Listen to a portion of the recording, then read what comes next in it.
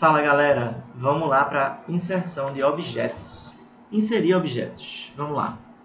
Primeira coisa que eu queria mostrar a vocês. Esse chão que a gente criou, ele está cobrindo a nossa planta. Então eu não sei exatamente onde os objetos vão ser inseridos. É fácil de corrigir isso. Eu vou aqui ó, em Floor, clico com o botão direito, Override Graphics in View. O que é que isso vai fazer? Isso vai é, pegar todos os objetos que estejam na categoria chão. Eu estou aqui ó, em By Category, vou clicar aqui em By Category. E ele vai, é, essa ferramenta vai override the graphics, ou seja, vai criar uma nova, um novo gráfico, uma nova visualização para esse tipo de objeto. Eu vou aqui ó, em transparência e eu vou aumentar essa transparência para uns é, 80 e pouco. Ok. Pronto, ó. Agora eu consigo ver meus, meu piso ainda, meu chão aqui, mas eu consigo ver o que está por baixo, porque ele está transparente. Beleza? Feito isso, vamos colocar uma mesa, né? Para inserir objetos, eu tenho algumas dicas para vocês. Primeiro, eu posso inserir objetos que o Revit já traz na biblioteca dele. Eu vou aqui, ó, Insert, Load Family. Objetos no Revit são famílias. Por que, que ele chama de famílias? Porque dentro da família a gente tem vários tipos. Por exemplo, eu tenho uma família de um tipo de janela.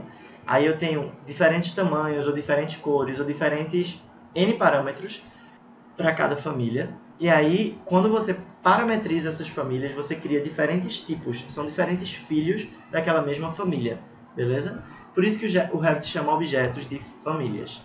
Vamos aqui, ó, ele abre já automaticamente a biblioteca do Revit, de famílias do Revit. Eu vou aqui em Brasil.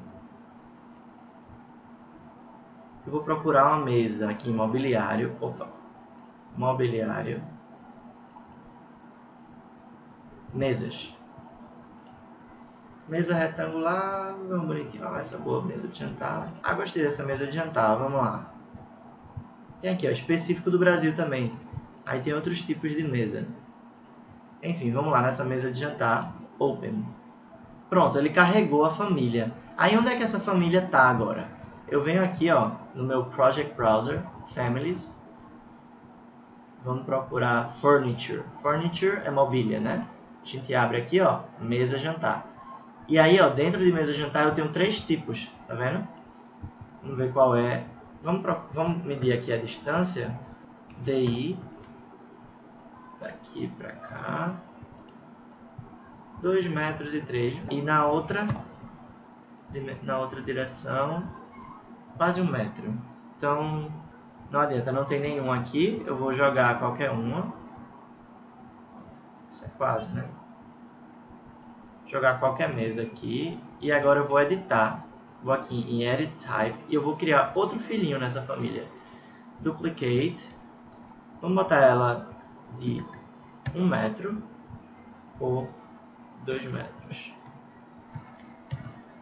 Ok, aí eu vou aqui ó, em comprimento, 2 metros, 2. Aqui em largura eu vou para 1. Então, ok. E agora a minha mesa do tamanho certo está aqui. O que é que eu vou fazer? Eu preciso é, alinhar essa mesa na posição que o arquiteto botou aqui, né?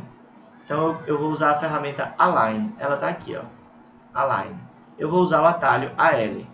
AL. E aí eu seleciono a linha que eu quero que a mesa se alinhe. E seleciono a linha da mesa que eu quero que alinhe para essa linha. Enfim, vocês entenderam. E aí eu vou fazer a mesma coisa nessa direção, aqui e aqui. Prontinho. Vamos olhar lá no 3D, bora aqui a nossa mesa de jantar top das galáxias.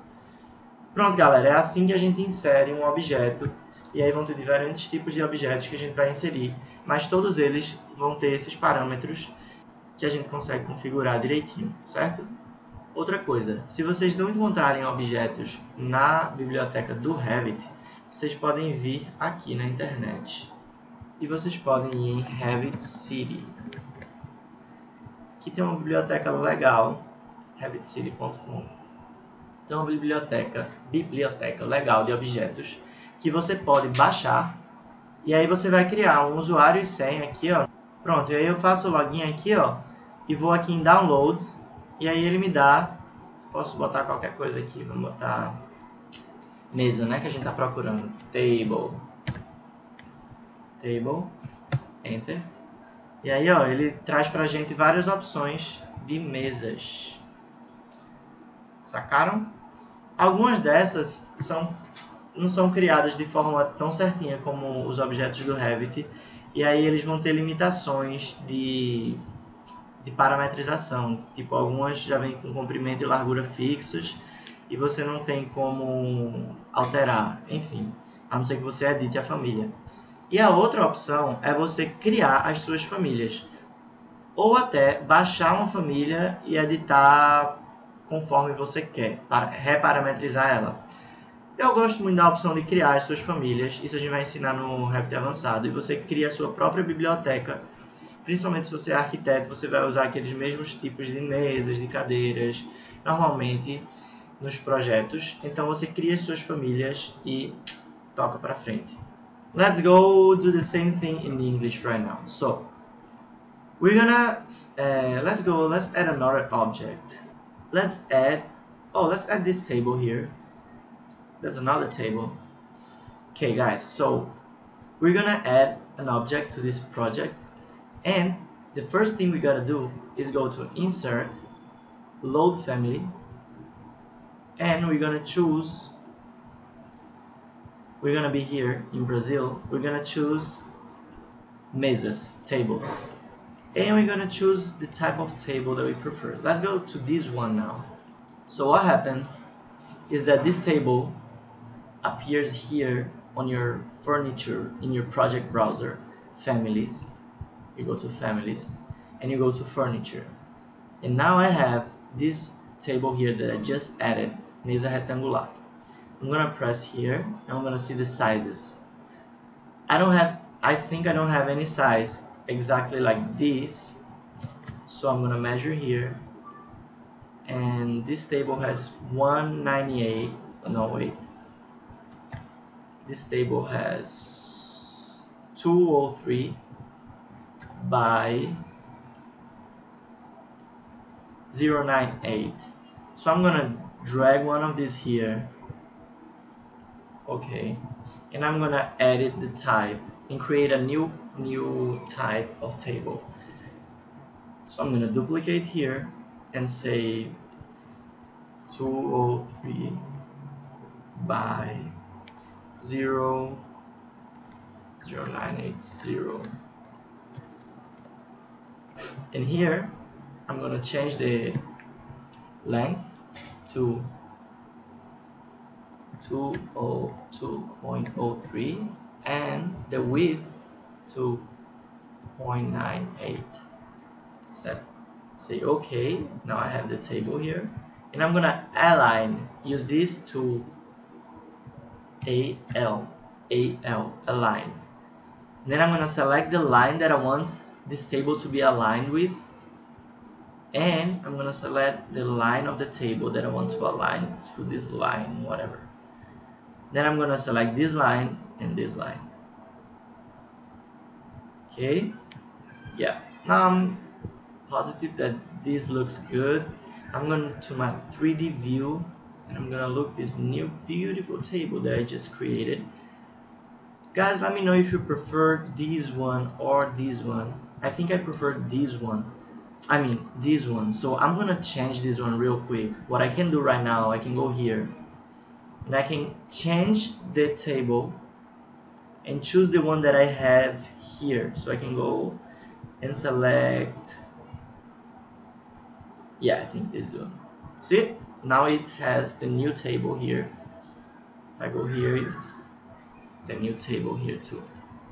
Okay guys so now we created two tables and we can do that with the other objects of the house. Just load the families and you're gonna be good the other thing you can do is go to internet and go to this website revitcity.com create your account log in into into the account and then you have a library of a lot of objects here you see? So you can just type it here like table and it, it's gonna look for you for like different types of tables chairs everything okay? Some of these objects if you download they are not really uh, really well parametric. So you guys can try to create your families too. We're gonna learn that in the advanced course. You guys can create your families and that's gonna be easier for you guys to manage uh, every project that you have uh, after that. Because now you have families that you can use in different projects and you know exactly how each family works okay? See you guys in the next class. We're going to have uh, a little class about how to create smaller walls and then we keep going with that. Let's go. Vejo vocês na próxima aula. A gente vai ter uma aulinha rapidinha de como criar paredes baixas e depois a gente continua com a organização aqui desse projeto beleza? Falou!